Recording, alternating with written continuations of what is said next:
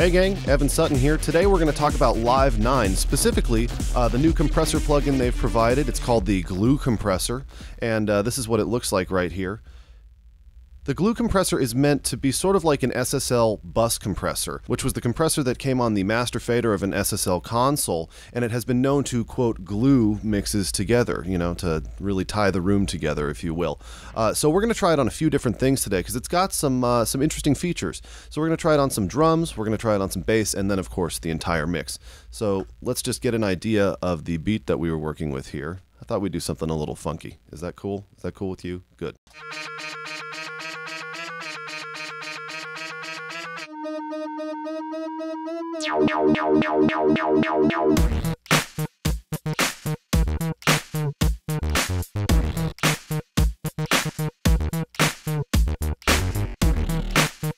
So there you go. I'd like to start with a uh, drum bus here.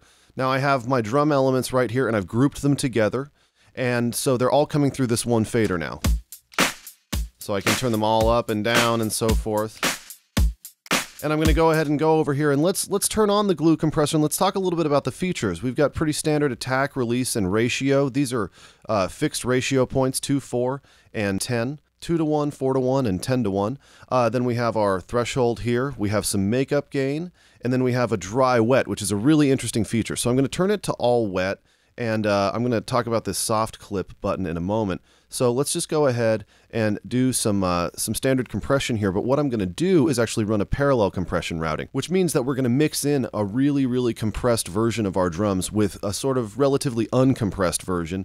And so we're going to have our cake and eat it too. We're going to be able to get that hyper compressed sound, but we're going to be able to maintain uh, some of the natural uh, goodness and the dynamic range that we have in these drums. So let me go ahead. I'm going to solo this here, and uh, let's just do some compression.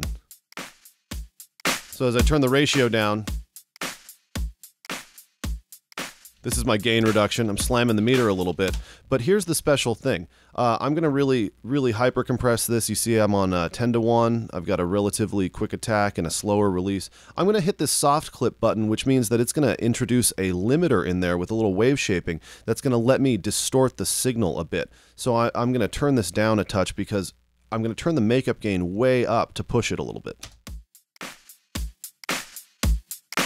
when this light goes off, you know that you're soft clipping. Without it, it's actually going to really clip, but with this turned on, it's just going to distort a little bit in a way that we kind of like. So now what I'm going to do is uh, just pull this dry wet back. And, and having a dry wet knob like this is really, really handy for doing parallel compression because you don't have to run a separate channel strip with your compressor. So I can just pull this back and sort of mix in my original signal.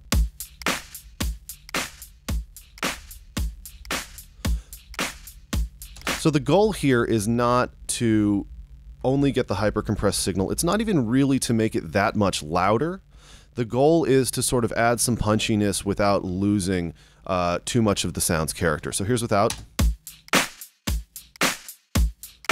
And then here's with the glue compressor.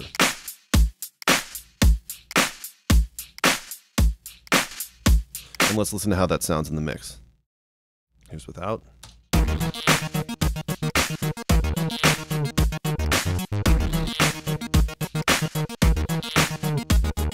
And now here's with the glue compressor.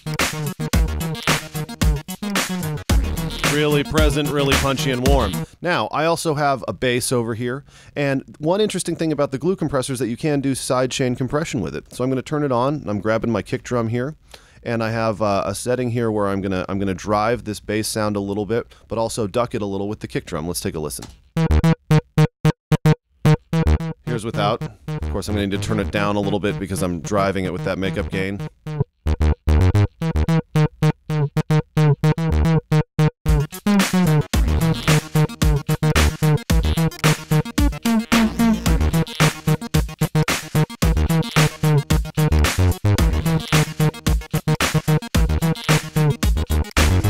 That extra saturation is going to help it sit in the mix really nicely. I also have that going on this other bass.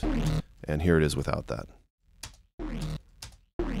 Okay, just a little warmth, a little punch, a little fuzz. I love it. Now, on to the master channel. So let's uh, let's bring the glue compressor in here. And what you want to do when you're adding mix bus compression, if you're not mastering, So, in other words, we're still in the mix stage and we want to leave lots of dynamic range for our mastering. We're just going to do something subtle. So, I've got the threshold uh, not super low. I'm not using any makeup gain. I've got a slowish attack and release. Uh, or a mid, you know, mid speed release, and then I've got a ratio of four. Pretty simple. And so here's without.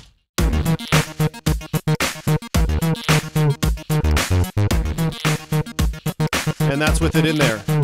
It's just going to kind of pull in some things, you know, put put everything in a nice box. That's how I like to think of it. Uh, don't go too crazy on mix bus compression. It's something that mystifies a lot of people, and it's really easy to go overboard. Just follow your ears, trust your ears.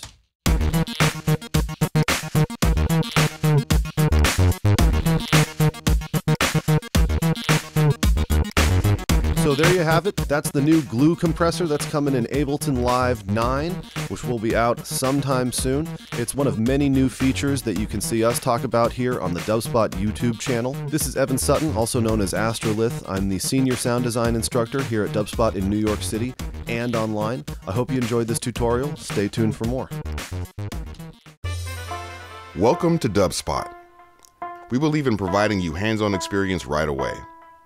Whether you're completely new to music and want to turn the sounds in your head into a musical reality, or you're an experienced artist looking to refine your skills and add new tools to your arsenal, we're ready to meet you at your level. For students of all ages, all levels, and all styles of music, Dubspot is here to help you achieve your goals. With course offerings both online wherever you are and at our school in the heart of New York City, we are ready to guide you through the next phase of your musical transformation. Whether you want to produce music, DJ, or do both, you've come to the right place. Come explore Dubspot for yourself, become a part of our community, and make music.